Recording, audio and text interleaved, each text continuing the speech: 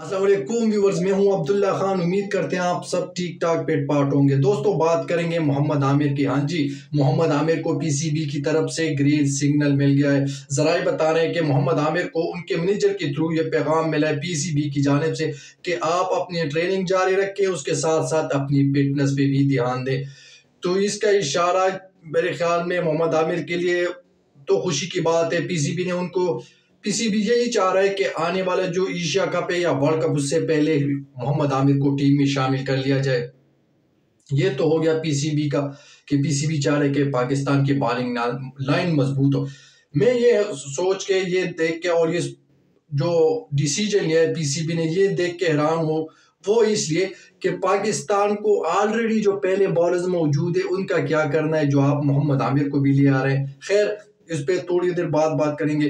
पहले बात करते हैं मोहम्मद आमिर की मौजूदा जो सीज़न गुजरी है, एक बीपीएल हो गया, बांग्लादेश प्रीमियर लीग उसके अलावा पाकिस्तान सुपर लीग में भी वो खेले हैं। तो नज़र दौड़ाते हैं उनके पीएसएल के सीज़न पे, जो उन्होंने कराची किंग्स की नुमाइंदगी की। पीएसएल में उन्होंने टोटल सात मैच खेले हैं, सिर्फ़ नौ विकेट हासिल किए ची इशारिया तीन एक के रन रेट इकोनॉमी रेट के साथ। तो ये हुआ उनका पीएसएल इस तरह बीपीएल में उन्होंने बीपीएल में उन्होंने टोल, टोटल आठ में, ग्यारह मैच खेले सॉरी टोटल ग्यारह मैच खेले। इस तरह उन्होंने हासिल की चौदह विकटें और इस तरह उनकी इकानवी रोड इकानवी रेट जो बनता है वो है आठ इशारिया एक।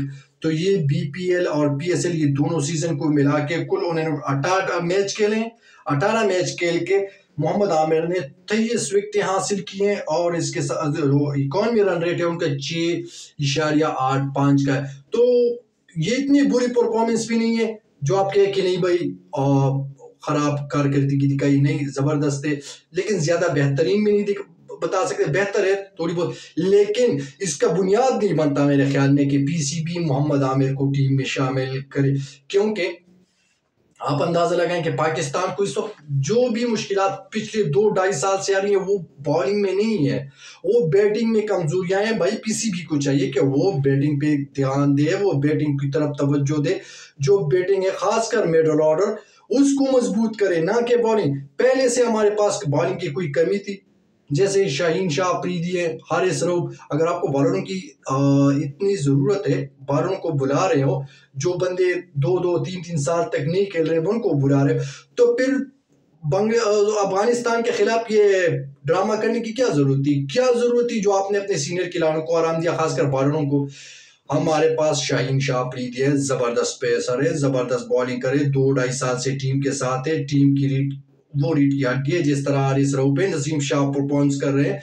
इस तरह से जो हालिया सीरीज़ गुजरा है हमारा, अफ़गानिस्तान के खिलाफ, उसमें ज़बरदस्त बॉल, दो बॉलर सामने जमान खान और एहसानुल्ला तो भाई बॉलर हमारे पास पहले से काफ़ी, जो हमारी स्ट्रेंथ है, शुरू से क्रिकेट का तो हमारी बॉलिंग ही है, उसको क्यों और क्यों मज़बूत करने? भाई बैटिंग पे बैटिंग पे भी तवज्जो कि नहीं? जितना करने ग्यारह की ग्यारह हमने बॉलर ही खिलाने मैच बॉलरों ने जीताना है। भाई बैट्समैनों का भी कुछ कर लो। बैटिंग हमारी बहुत कमज़ोर है, ऊपर एशिया कप आ रहे उसके बाद वर्ल्ड कप में भी जाना है हमने। तो आपने अगर देखना है तो आपने बैटिंग का देखना है। बॉलर्स हमारे पास पहले से अवेलेबल है, वो काफ़ी है। इसके अलावा, मोहम्मद आमिर की बात करते हुए, एक तो मोहम्मद आमिर की वापसी हो जाए, वो अलग बात है, लेकिन उनकी बिहेवियर उनका बिहेवियर उनका रवैया जिस अंदाज से, खासकर बाबर आज़म के साथ जो उनका चल रहा है पी एस एल से पहले जो उन्होंने बात ही की, बाबर आज़म, वो अलग साहब सबक जो chairman P C B Ramiz Raja sahab, उनके साथ उनकी जो बात की तो क्या मोहम्मद आमिर ये माफिया मांग के आएँगे इन खिलाड़ियों से या बाबर आज़म से? या खुद ही ऐसी पी सी बी उनको चलो जी, आओ, खेल लो पाकिस्तान के लिए। मेरे ख्याल में मोहम्मद आमिर शुरू से ही, जैसे ही मैं साफ़ साफ़ बता रहा हूँ जैसे ही पहले से रमीज राजा राशिद लतीफ, उसके साथ मैं भी हूँ। मैं शुरू से ही मोहम्मद आमिर के खिलाफ हूँ। भाई, जब से उस पर ये इल्ज़ाम लगे, उसके जो माजी हैं, उस पर नहीं जाना चाहते। जब से वो आए, मैं उनके जो कम बैक है या टीम में वापसी, उसके बिल्कुल खिलाफ हूँ। क्योंकि आप ऐसे बंदे पे फिर बार ही नहीं कर सकते। आपको हमेशा डर लगा रहता है। भाई, ये बंदे ने ऐसा किया हुआ एक बार ऐसा और ना हो कि खुद छोड़ो दूसरों को ना वर्गलाए हमारे लिए। तो मेरे ख्याल में उनकी वापसी टीम के लिए हैरान कुन ही है वैसे ये डिसीज़न देख के आज तो आ, बंदा सोच में पड़ जाता है कि पीसीबी को क्या हो गया है आमिर को उनकी फिटनेस को देखो वो इतनी हाई लेवल की नहीं है जब से उन्होंने कम बैक किया हो तो कौन सी बोले ने? कोई एक स्पेल सिवाय एशिया कप के जो बांग्लादेश में होते हैं इंडिया के खिलाफ वो एक स्पेल लेकिन एक स्पेल पे आप पूरे उनको उनका करियर नहीं गुजार सकते।